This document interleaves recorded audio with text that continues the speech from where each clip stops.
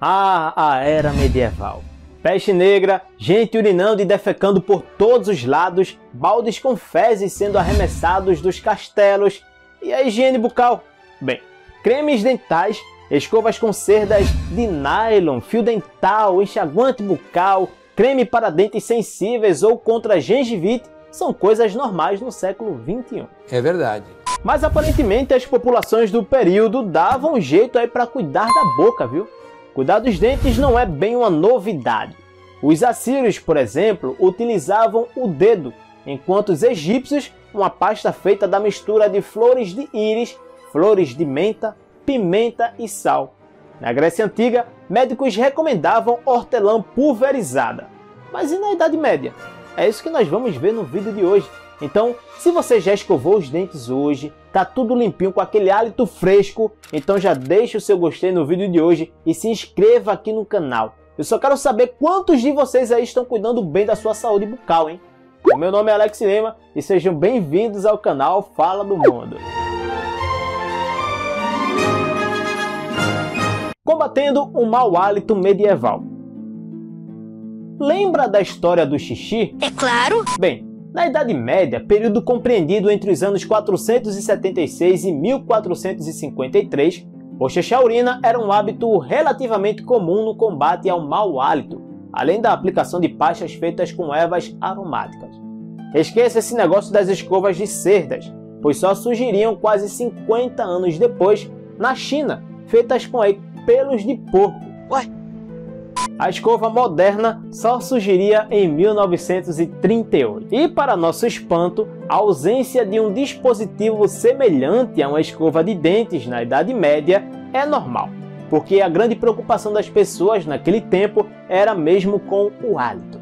A odontologia, por exemplo, se resumia à extração de dentes que, na maioria das vezes, eram feitas por um barbeiro com a navalha afiada e às vezes enferrujada, viu?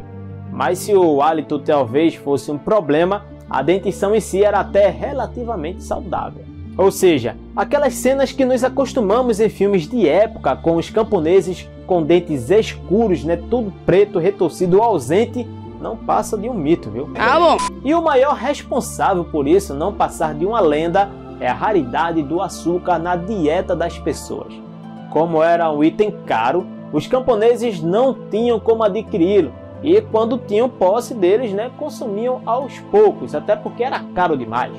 Em contrapartida, o rei da Inglaterra, Ricardo III, tinha uma péssima higiene bucal e uma coleção de cáries na boca. Eca. Ah, que nojo!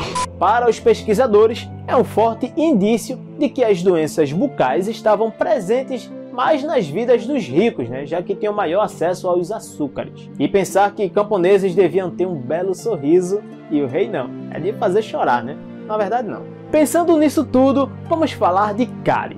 Coisa rara na Idade Média, porém um problemão no século XX. É verdade. Levantamentos arqueológicos do período medieval indicam que a média né, de dentes com algum tipo de problema dificilmente ultrapassava a marca de 20% da totalidade. Caracas. A título de comparação, no início do século XX, algumas populações chegaram a ter 90% do comprometimento dentário. Olha só que dado curioso.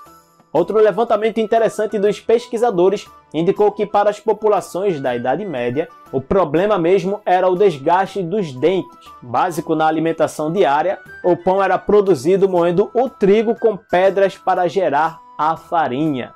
E acontece que restavam partículas de areia que, ao serem mastigadas, geravam esse desgaste. Mas então surge outra dúvida: como era o cuidado dental na Idade Média? Envolvia enxaguante bucal? Olha, a população medieval tinha por hábito esfregar os dentes e as gengivas com panos de linho áspero. Meter o dedo lá né? Mas as pastas caseiras, como a feita de junção de sal com sálvia moída, eram comuns. Além de limpar os dentes, essas pastas colocadas nos panos contribuíam para o branqueamento dental e para um hálito fresco. É claro que o gargarejo de xixi é uma mácula na história do cuidado dental na Idade Média, mas os bochechos também podiam ser feitos com líquidos à base de vinho ou vinagre, que eram tidos como antisséptico. Esses itens eram acrescidos de ervas e especiarias, especialmente hortelã, manjerona e canela. O medo das precárias cirurgias dentárias, que na maioria das vezes terminava em extração dental, pode ter sido mola propulsora para esse zelo com a saúde dos dentes na era medieval. Bastante criativo e cuidadoso para um período em que jogar baldes de fezes pela janela dos castelos era comum, não é mesmo? É, ué. Alguns outros fatos interessantes que vão desde os egípcios antigos ao século XX é que a pasta de dentes mais antiga de que se tem notícia foi desenvolvida pelos egípcios entre 3.000 e 5.000 anos antes de Cristo. A composição incluía mirra, pedra pome, cinzas e cascas de ovos. Na Grécia e Roma Antiga eram usados ossos de conchas de ostras trituradas. Mais tarde, no século XVI, a pasta de dente adotada na Inglaterra incluía substâncias que nos aterrorizariam hoje, como pó de tijolos, porcelana e talheres triturados, além de conchas de moluscos. Olha só. Que viagem é essa, velho? Inclusive, uma figura muito conhecida no século XVI, a rainha Isabel I, passou por um medo arretado de extrair um dente, viu? Em decorrência de sua obsessão pelas sobremesas, a rainha Isabel I da Inglaterra estava com os dentes pretos em 1578. Naquela época, o açúcar era uma verdadeira iguaria. Apesar da dor, a rainha recusava tratamentos, e assim o bispo John Aylmer passou ele próprio por uma cirurgia retirando um dente saudável para mostrar que a operação era menos dolorosa do que ela temia. Mas se você pensa que ele fez isso por livre e espontânea vontade, é aí que você se engana, viu? Pois ele foi intimado e caso se recusasse seria mandado aí por Chinindró. Ele ia se lascar todinho. Se.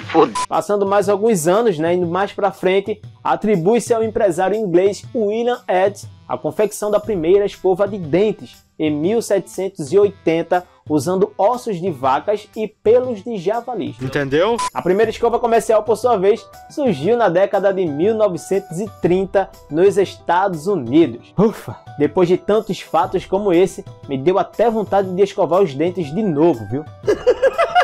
Se você chegou até essa parte do vídeo, então comenta aqui a palavra higiene para eu saber que você ainda está aqui comigo e também para eu deixar um coraçãozinho bem refrescante aí no seu comentário, viu? Tudo bem. Não esqueça também de deixar o seu gostei e não esqueça de sempre escovar os dentes após cada refeição.